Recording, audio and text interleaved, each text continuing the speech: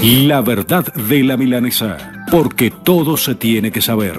Porque todos debemos saber. La verdad de la milanesa. Periodístico de investigación. Conduce el periodista Jorge Bonica. Con ustedes, el protagónico ensamble de La verdad y la justicia. Bienvenidos.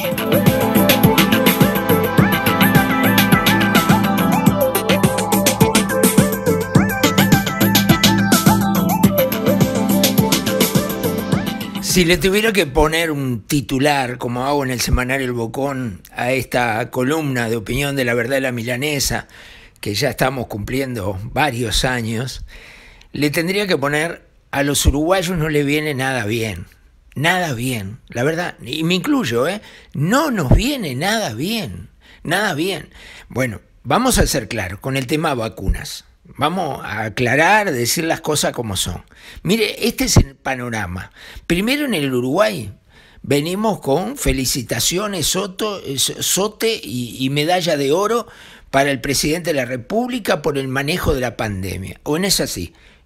La verdad, hasta algún trastornado habló de proponerlo para el premio, no sé, de, Nobel de la Paz a Luis.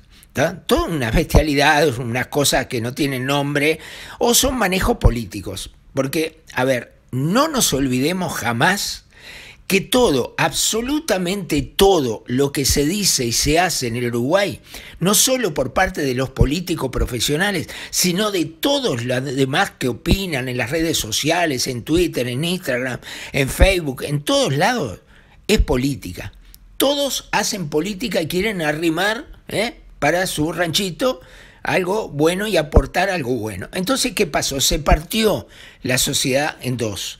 Hay una grieta. La grieta que tanto hablamos de los argentinos llegó al Uruguay y se confirma que al Uruguay lo, argentino eh, siempre llega tarde, pero llega, y lo brasileño llega tarde, pero llega, ¿no? Aquello de que estornudan en Argentina y Brasil y Uruguay se engripa es una gran verdad. Bueno, llegó la grieta, hay una grieta, que además se ve más, se nota más por las redes sociales. Las redes sociales son una permanente forma de eh, agredir, de dividir, de decir, acá estamos nosotros, allá están ellos. Y los políticos fomentan esto con sus actitudes, formas de ser. Entonces perdemos de vista perdemos de vista el real objetivo, que es tratar de mejorar la calidad de vida de los uruguayos. Para mí ese es el gran objetivo, todo lo demás es secundario, todo lo demás es complemento, pero lo más importante acá que tendría que haber, y no hay, es que todos tengan metido en la cabeza que hay que mejorar la calidad de vida de un millón de uruguayos que viven mal pésimamente mal. ¿eh? Y ya me, me, he cansado de decir que no llegan a fin de mes, que no tienen para comer, que no tienen para comprarle la túnica a los hijos, que no tienen trabajo, o que tienen trabajo y ganan una miseria. Y esa es la realidad. Ahora, nos olvidamos de esa realidad. Se acuerdan solamente cuando son las elecciones, los periodos electorales, donde todo es maravilloso todo es prometedor, todo se dice con una seguridad absoluta por parte del candidato y los candidatitos. Todos vienen a decir, si me votan a mí, yo si soy presidente hago tal cosa, si soy legislador hago tal cosa, si soy alcalde hago tal cosa, y así podemos recorrer cada uno de los cientos de miles de cargos electorales que hay en nuestro país. Y esa es la verdad de la milanesa. Lamentablemente es así, no se piensa en el gran objetivo. Ahora, vamos a hablar de la vacuna. Viene la vacuna, dejémonos de joder. Ahora, viene la vacuna, están acá el jueves, el lunes empiezan a vacunar y no les gusta que sean las vacunas chinas. Entonces se empiezan a tirar pálidas, decir que las vacunas chinas son esto, son lo otro, eh, tienen nada más que el 64% o no sé cuánto, y por qué no la Pfizer, y por qué no vacunan a, a la gente de la salud como habían dicho, por qué. A ver, si vamos a empezar a polemizar y meter grieta a todo, bueno, la verdad, esta pandemia no se va más. Y están los que dicen que no hay pandemia, que es una pandemia, que el virus existe, pero que eh, los PCR están mal, que esto está todo mal. A ver, muchachos, vamos a calmarnos, bajar la pelota, bajar la pelota. Hemos vivido como el culo el último año. Eh, se ha transformado la vida de cada uno de nosotros en un verdadero infierno. Hemos perdido familiares, amigos, no vemos amigos, no nos reunimos, no tomamos un café, no vamos al club, no vamos al gimnasio, no vamos a la playa, no vamos a hacer turismo, no vamos a ningún lado de todas las actividades que realmente mejoran la calidad de vida, por lo menos psicológica, de todos nosotros. Ir a caminar por la rambla, no se puede tomar mate, no se puede compartir el mate. Ustedes recuerden, esto ha sido un infierno real en el Uruguay, donde la sacamos barata, porque la hemos sacado regalada. Los uruguayos la sacamos regalada. Prácticamente no vivimos el infierno que vivieron otros países realmente que, están destrozados, destruidos y va a, recomponerlo va a ser imposible. Además tenemos la suerte de ser muy pocos. ¿eh? En un país chiquito y somos muy pocos. Es decir, que la vacunación, los que se quieran vacunar, se van a vacunar en pocos meses. No va a pasar como ha pasado en otros países. Va a pasar, en la Argentina llevan el 1% de la población vacunada. Y no le llegan las vacunas tampoco. Y a Brasil le pasa otro tanto. Y a todos los países le pasa otro tanto. Yo creo, yo creo que acá eh, Luis y todo su equipo se durmieron. Eso la tengo absolutamente clara. Se durmieron en los laureles. ¿eh? Estaban puro elogio, puro elogio y se olvidaron de concretar algo mucho más importante que el COVEX ese que va a venir en algún momento, esa cooperativa de vacunas. Eso es lo que pasó. Acá se durmieron. Y se durmió el ministro de Relaciones Exteriores, que después desesperadamente y como manotazo abogado le pidió a su amigo Alberto Fernández que le dé, como decimos en Rivera, las dicas, ¿eh? los datos, las dicas, para saber con quién tengo que hablar, qué teléfono tengo que llamar, a quién tengo que hablar, para que realmente lleguen vacunas a nuestro país rápidamente, aunque sean eh, no una cantidad para todos los uruguayos, sino una primera cantidad. Y eso es lo que pasó. Y por eso llegan las vacunas, por más que digan lo que digan, por eso llegan las vacunas. Y bienvenido que lleguen las vacunas. Y aquellos que putean porque hablo de las vacunas o porque digo cuántos muertos o cuántos contagiados o cuántos ve. Y Bonica, deja, no sabes nada, Bonica, ¿por qué no lees? Y me mandan link, un montón de link que ni ellos saben de dónde llegan los links, porque cuando le pregunto quién es el autor de esto, no saben qué contestarme, simplemente se viralizó y te terminan diciendo a mí me lo mandaron. Ojo, yo no soy estúpido, estudio mucho, veo mucho, leo mucho, hablo con muchas personas, he hablado con personas que están rotundamente en contra de la pandemia, diciendo que todo esto es eh, el nuevo orden mundial. Y, yo, sinceramente, no tomo partida. Como periodista no puedo tomar una partida directa si esto o lo otro. Escucho y sobre todas las cosas difundo, difundo. En el semanario El Bocón hubo cuatro páginas por el doctor Javier Isciuto. Cuatro páginas enteras donde dijo lo que quería decir, donde se le preguntó lo que había que preguntarle y ahí estuvo. Punto. Y aparte, como tienen que estar, todas las voces tienen que estar. Eso es democracia, eso es libertad de expresión. Pero no vamos a ser tan negativistas como para decir, mire, vinieron las chinas, vienen las chinas, claro, ¿por qué no vienen las otras? No, vinieron las chinas.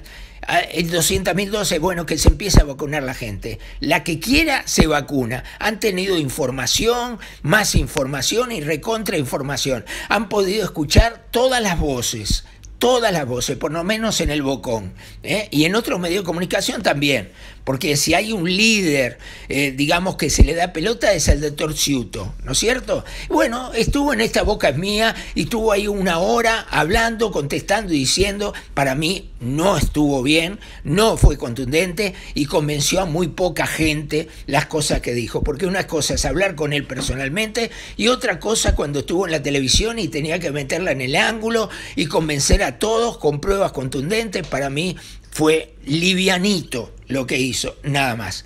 Además, estamos en una pandemia mucho más grande que la del coronavirus. Estamos en la pandemia de la depresión, de la tristeza, de la angustia. Estamos mal los uruguayos. Tenemos más de medio millón de uruguayos diagnosticados con depresión. Ese es el verdadero problema y hay que salir de ese problema. Hay que apuntar todas las estrategias de salud en el Uruguay a combatir ese programa, a que los uruguayos tengan una esperanza, a que los uruguayos puedan mirar el futuro con ganas, que vean algo en el horizonte, algo en el final del túnel. No podemos seguir cerrando y poniendo barreras porque los uruguayos se están matando, se están suicidando, no aguantan más, no aguantan más el encierro, no aguantan más la tristeza de no ver los nietos, de no ver los hijos, de no festejar los cumpleaños, de no hacer un asado. Esa es la vida de los uruguayos. El tomar un mate en el parque, el que no tiene un mango. Bueno, el que puede hacer un rico asado en un parrillero. Bien ahí. Eso es lo que falta, eso es lo que perdimos y perdimos la esencia misma de la vida de los uruguayos. Esa es la verdad de la milanesa. Gate, Uruguay. Despachantes de aduana. Servicio rápido, eficiente y eficaz. Nuestra principal labor es la liberación de sus mercancías en las principales aduanas del país. Consúltanos, te asesoramos sin costo. Email gateuruguay.gmail.com WhatsApp 099 48 73 24 Gate Uruguay. Despachantes de aduana. Y los últimos minutos de esta verdad de la milanesa un poco especial va dedicada al intendente eh, departamental de Paysandú, el doctor Nicolás Olivera. Eh, no se puede concebir que Olivera haya mentido drásticamente en las declaraciones que hizo con respecto a alguien que eh, lo acompañó en toda la campaña, patrocinó en la campaña, le abrió camino a los barrios más difíciles de Paysandú, que es el zorro Escobar. Yo no lo conozco, el zorro Escobar. Lo que conozco son los antecedentes que tiene. Y la verdad son nefastos. Que a mí me diga, pagó, pagó con cárcel, tiene posibilidad de reinsertarse a la sociedad, todo muy bien que se reinserte, pero no que lo reinserte el Estado, no que lo reinserte una intendencia, no que un intendente lo haya utilizado para abrir caminos y llegar a esos barrios, a esos lugares donde no llegaba y sí llegaba el zorro Escobar por sus antecedentes, por su trayectoria. Un tipo que no tuvo la mínima, la mínima delicadeza, no se le pasó por la cabeza en ningún momento que agarrar mujeres, muchachas, menores de edad y prostituirlas, que llevar mujeres a prostituirse a España, meterlas en un apartamento y que trabajen para él y él recibir la plata y nadie sabe cómo compraba todo lo que compraba, casas, apartamentos, campos, autos, cero kilómetros. Un tipo que fue preso por ese delito, ese delito de proseneta, un proseneta, un tipo que lavó dinero en el Uruguay, ¿eh? Ese tipo no puede estar al lado de un candidato a la intendencia de Paysandú como estuvo. No puede estar al lado de un senador como Gandini como que estuvo porque están en los registros gráficos. Yo sé que Gandini quizás ni sabía quién era el zorro Escobar. Eh, van a Paysandú porque van a acompañar al candidato de ellos, de Alianza, recorren todos los departamentos y hablan maravilla de, de Olivera como si fuera la Madre Teresa de Calcuta. Ese es el trabajo de político profesional yo detesto, detesto que eso pase, lamentable, quizás ni sabe, pero están las fotos ahí, el señor Gandini con el zorro Escobar. Entonces, dejémonos de joder. Lo que hizo Olivera es detestable, detestable. Y después, todavía, cuando se descubrió que andaba ah, por adentro de la intendencia, vestido de jerarca, dando órdenes, bueno, cuando se descubrió, mintió en un medio de comunicación. Lo mintió quiso decir que era por el plan de reinsertación de quienes habían estado presos, que tienen que tener la oportunidad. No, Olivera, no, Olivera, no, no, no mienta más, Olivera. No mienta más. Lo que usted hizo fue un pacto con un delincuente, con los peores delitos que hay seguramente ninguna de sus hijas Olivera fue tomada por el zorro Escobar y fue prostituida y llevada a España que se prostituya con 30, 40, 50 tipos por mes para mandarle la plata. Si lo hubiera hecho con su hija, con su sobrina, con su hijada, con su hermana, seguramente al zorro Escobar no lo hubiera tenido al lado. Pero usted no tuvo escrúpulos no sabe lo que son los escrúpulos. Y es lamentable que otros políticos que apoyaron a Olivera tampoco se hayan hecho eco de esta denuncia en su momento. Así son los políticos, solo miran el bienestar de ellos, solo miran la cantidad de votos que puedan sumar sin importarle absolutamente nada lo que puede pasar. Y la prueba la tenemos a nivel nacional. Hoy el señor Luis Lacalle Pou se abraza con Francisco Gallinal, sabiendo que Francisco Gallinal es una persona que ha cometido todo tipo de delitos, como por ejemplo falsificar las firmas para robarle una agrupación a Verónica Alonso en la Corte Electoral. Lo sabe la calle Pou, sin embargo, lo tiene de ministro del Tribunal de Cuentas y el otro día salió en la televisión a dar cátedra a dar cátedra y definir una situación compleja. Un falsificador dando cátedra de honestidad. Es lo único que nos faltaba. Así son los políticos y mientras eso no cambie, mientras no cambie el objetivo, mientras el objetivo no sea mejorar la calidad de vida de todos los uruguayos, con mejores salarios, bajando precios, bajando impuestos, teniendo precios de una canasta familiar factible para que los uruguayos puedan alimentarse, vestirse, disfrutar de la vida hasta más pobre de los uruguayos tiene el derecho a disfrutar de la vida y no ser simplemente alguien que pasa por esta vida corriendo atrás de la plata permanentemente porque no la alcanza. Nos reencontramos mañana. Chao, chao.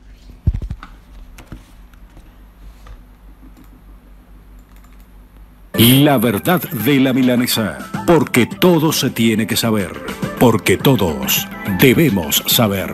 La verdad de la milanesa, periodístico de investigación. Conduce el periodista Jorge Bonica, el protagónico ensamble de La verdad y la justicia. Será hasta nuestro próximo encuentro. Muchas gracias.